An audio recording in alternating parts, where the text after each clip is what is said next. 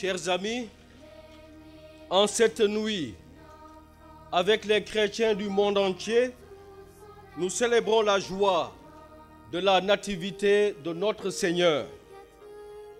Noël, nous le savons, est devenu une fête sociale, une fête familiale et folklorique, charmante, qui réjouit toutes les générations et tous les peuples. Mais pour nous, ici rassemblés à Saint-Pierre-du-Port, cette messe ne doit pas seulement être un geste folklorique. Oui, tous ensemble, nous pouvons donner le témoignage que Noël, c'est plus que des cadeaux, que les repas, c'est plus que les visites.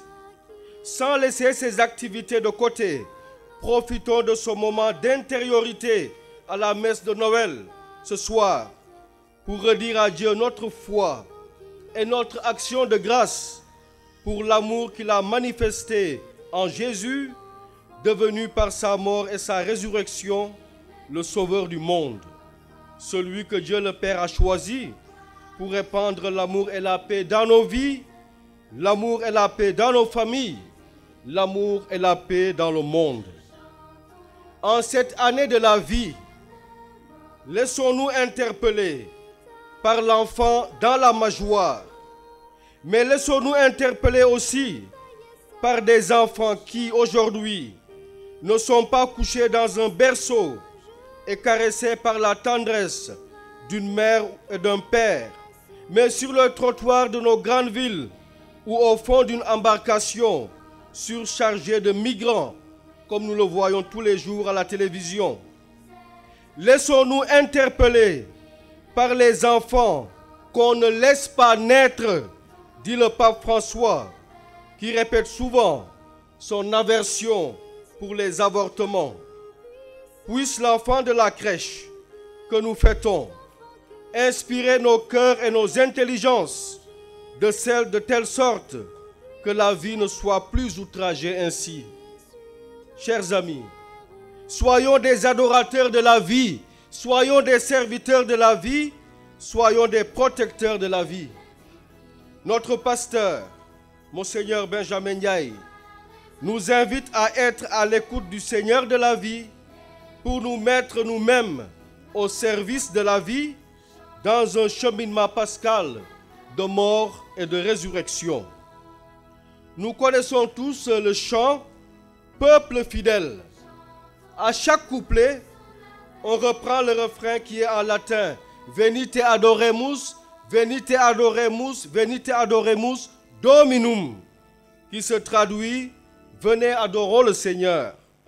Alors c'est ce refrain qui a inspiré mon homélie, car en l'entendant et en y réfléchissant, je me disais pourquoi adorer cet enfant? Les textes des lectures m'ont donné une réponse que je vous partage bien simplement. L'enfant est semblable à tous les autres enfants, mais il est aussi fils de Dieu, le fils du Très-Haut, comme dit l'ange Gabriel à Marie lors de l'Annonciation. La première partie de l'Évangile est intéressante par les détails qu'elle donne en abondance. Jésus est né au temps de l'empereur Auguste et du gouverneur de Syrie Quirinius, d'une femme dont on connaît le nom, Marie, mariée à Joseph, de la descendance de David. Il en ressort que Jésus est bien un humain enraciné dans une terre et un temps déterminé. C'est une facette essentielle du mystère de l'incarnation que nous fêtons à Noël. Jésus ne tombe pas du ciel comme un martien qui atterrirait parmi nous. Il ne fait pas semblant de s'incarner, non. Jésus est vraiment homme. Il est l'un de nous, pleinement humain, naissant dans des circonstances précises que Saint Luc nous raconte et qu'il tient probablement de Marie elle-même qui, pense-t-on, lui a confié, lui a confié plusieurs de ses souvenirs au moment où il a décidé d'écrire son évangile qu'il présente comme une biographie de Jésus. Enfant comme les autres, l'enfant dans la crèche est porteur d'un avenir où il deviendra le sauveur du monde. Il est comme une semence jetée en terre. Dans une semence, on ne voit pas l'arbre ou la fleur qu'elle porte déjà en elle. Ainsi de cet enfant de Bethléem. Alors tout ce qui est visible aux yeux des gens qui passent, c'est un enfant entouré d'une mère et d'un père affectueux qui le couvrent, le bercent, le nourrissent. Mais pour ceux et celles qui le regardent avec foi, il y a beaucoup plus que ça. C'est le cas des bergers dont nous parle l'Évangile. Eux, ils sont arrivés là parce que des messagers de Dieu, des anges, les ont invités à quitter leur pâturage avec leurs troupeaux. Ils ont accueilli dans la foi le chant des anges qui a retenti dans le ciel étoilé, un chant à nul autre pareil, qui leur a dit, Rendez gloire à Dieu, on sauveur vous est donné, il vient de naître, allez l'adorer. Et remplis de joie, ils ont découvert cet enfant dans la grotte de Bethléem et se sont prosternés devant lui.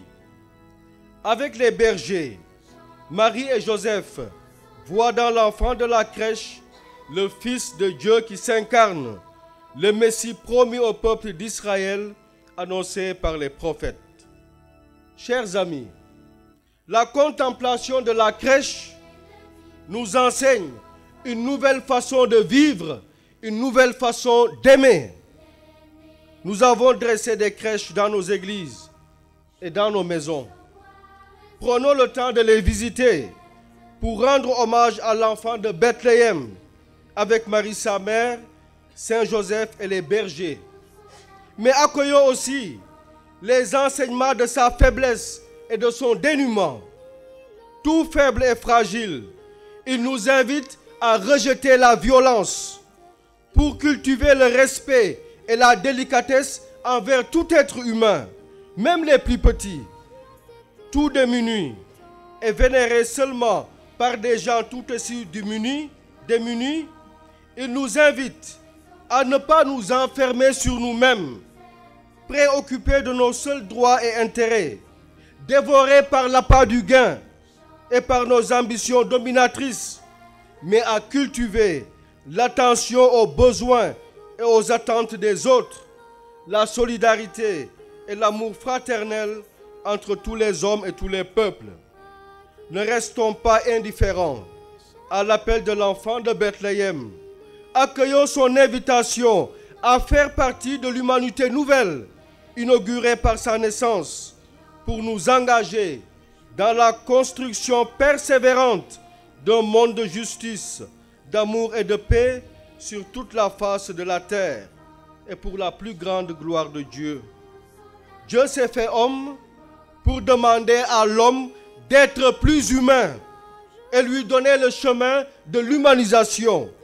Dieu s'est fait homme pour que l'homme devienne Dieu, dit Saint Irénée.